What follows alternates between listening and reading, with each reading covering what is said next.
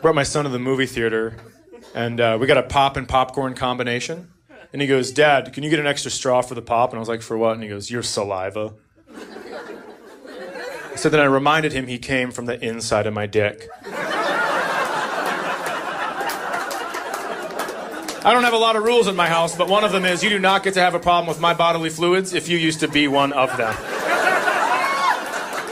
And I hold strong. I hold strong.